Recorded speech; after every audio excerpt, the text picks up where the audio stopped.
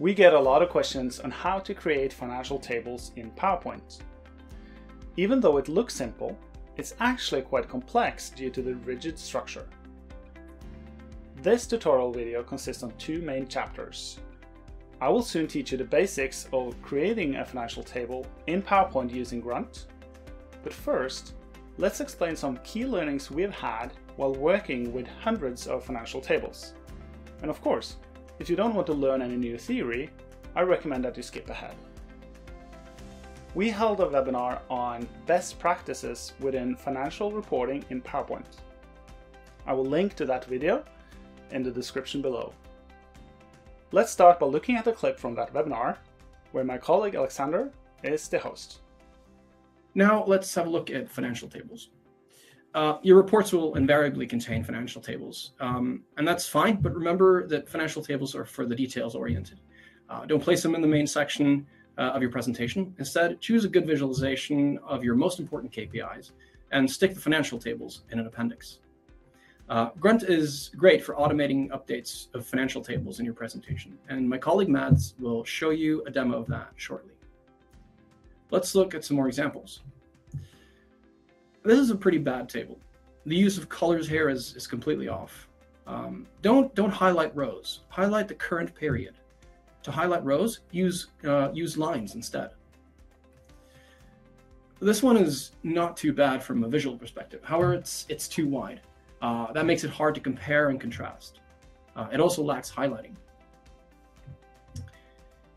Again, there are some problems here. The current quarter is not highlighted. Some numbers are emphasized, but there are no, no comments explaining why. Uh, and the image quality is also pretty bad. And it's obvious that, that this image was copied from Excel. You should avoid this kind of workflow, and we'll show you how later. Okay, now we're getting somewhere. This is a pretty good slide. The current period is highlighted. There are no unnecessary decimals. The important rows are highlighted using lines rather than the background color. Um, and the numbers are close enough together that you can compare them easily. Uh, finally, the comments to the right are short and to the point. We have developed best practices when it comes to financial tables, and I'll link to these in the description below. Here you can find some main pointers and also a slide with do's and don'ts. Now, let me demonstrate how you can create financial tables in PowerPoint using Grunt. I will mainly explain how to create a financial table from scratch, but we also have some templates you can use as a starting point.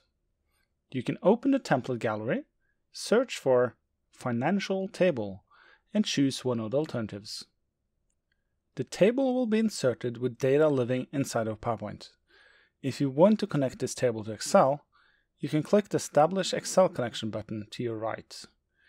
Choose an open Excel book and Grunt will push the data into Excel, and from this point onwards, you can work with Grunt and Excel as you normally do. Now let me explain how you can create a financial table from scratch. Starting with data in Excel, copy and paste that data into PowerPoint. The table shows up without any styling, and we'll fix that soon. First, double-click the first column to set it to automatic size. Then, select the first two rows right click and set the type to header row. Do the same for the first column. Next, select all the cells and add a font rule. This way we can reduce the font size to 8 points. Now select the similar cells in the top row and merge them together by adding a merge rule. I prefer to do this in two steps, once for the current period and once for year to date. With the cells merged, we can select the individual cells and apply a specific fill color. For numbers in my financial table, I prefer to keep them right aligned. So let's select all the content columns, add an alignment rule, and specify right alignment. Then I'll center align my merged cells by selecting the first row, adding an alignment rule, and specifying center alignment. With alignment fixed, it's time to adjust my gaps. Currently, these are too wide. So to fix that, I select my dividers, set the width to fixed, and choose 6 points. For the main divider, I want it to be slightly wider, so I choose 16 points. To further improve the header style, select the second row and add another font rule. Specify a bold font weight and choose a different color. Now it's time to add some borders and improve my styling. But before I move on, I want to talk about how you can do this in the most dynamic way possible. The reason why this is important is because if your structure keeps changing, it might be tedious to update the formatting manually. Our solution for this is called tags. Tags is a way to name parts of a table, and you can later use this name if you want to change the formatting. To add a new tag, select your total row, click the tag button to the right, and input the name for the tag. I'll use total row in this example. Now, with this row selected, let's add a border rule. I will control click on the bottom border to only specify that, and I'll change the color. Notice that this border is applied to the tag that we created. If I also add the header rows, those will get a border as well. Finally, to make things look cleaner, remove the border from all dividers. And you can do this by adding an empty columns target in the exclusion list. Now we also have to style subtotal rows and we're going to use the same process with tags. So let me first select a single subtotal row and I create a new tag called subtotal row. Then we add a border rule with a slightly thinner thickness and we choose a nice color. We can also add a font rule to set the subtotal rows to be bold.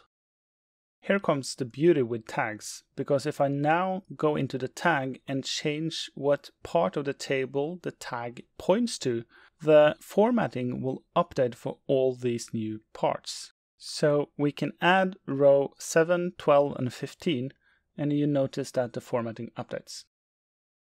We also want to add some shading for the current period, and it's perhaps no surprise that we're going to use tags for that as well.